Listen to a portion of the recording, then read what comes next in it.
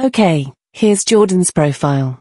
Howdy. Welcome to Jordan's profile. Feel free to ask me about his work experience, skills, or personal projects. Jordan's main skills include Python, JavaScript, and Lua.